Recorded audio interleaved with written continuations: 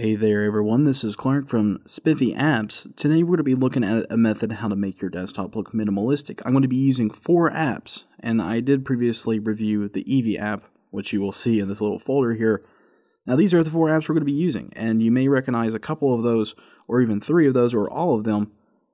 But we have the Evie launcher, which is very unpopular. It's still growing popularity quite fastly too the VIT icon pack, which is made by Joshua M, which I would totally recommend to people who are looking to get a nice icon pack design because he is very good at designing icon packs and he has a few choices on his Play Store.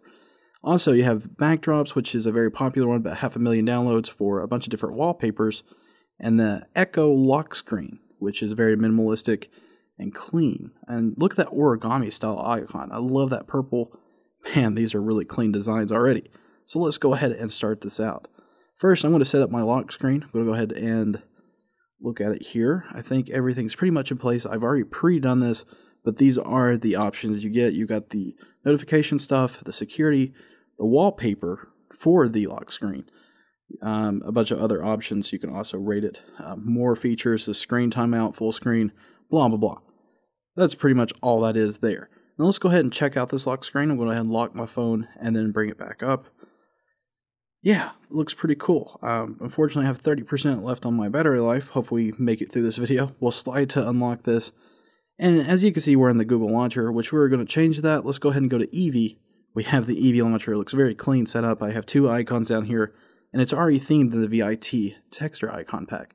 Now, in the last video, I did not tell you the limitations of what Evie has. Uh, has a very weird limitation uh, for aesthetics that would probably be affected by this launcher.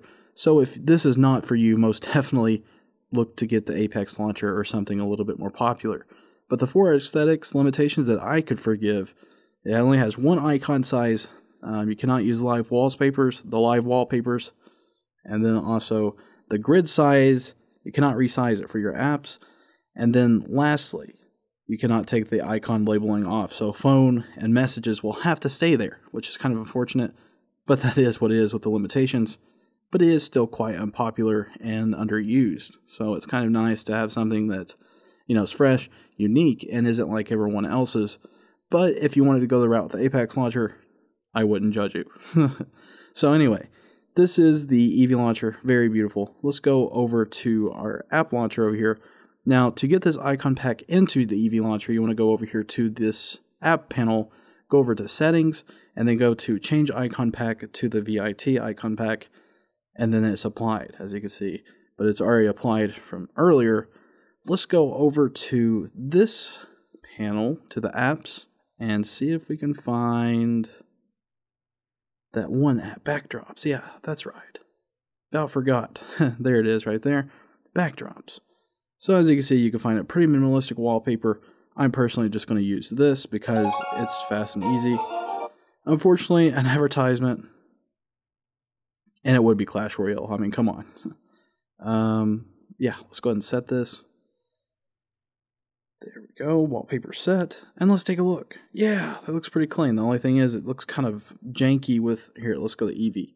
There we go. Now, doesn't that look pretty minimalistic and clean? I like it and I like how it has that opaque blur look in the background on this panel. I think it looks very clean, and also the rounded corners on the launcher looks pretty minimalistic. I wish you could turn off the search bar, but unfortunately you can't. But with this launcher, you can just put your thumb in the middle of the screen, pull down, and then you could search stuff, which I thought was really cool. But guys, I think this is pretty much all I could show you for the minimalist the minimalist setup. Um, let's go ahead and try to drag this message icon there. Let's go, there we go. That's very clean. I personally like it. There's some icons up here I could probably get rid of. But yeah, I mean, that's pretty minimalistic, and I think it's going to work out. Now, in the comment section below, tell me what you think about the Evie App Launcher and some of the other apps that I've previewed in this video, and let me know. Did it go well for you? Do you like it? Or are you going to stick with something maybe a little bit more popular? And if you do, what are you going to be using? And also, if you enjoyed the video, if I helped you anyway, leave a like. And if you want to stay in tuned, stay in touch with me, subscribe to my channel, and I will be bringing you more Android app reviews, quick looks, and more. Guys, thank you for watching. Have a fantastic day.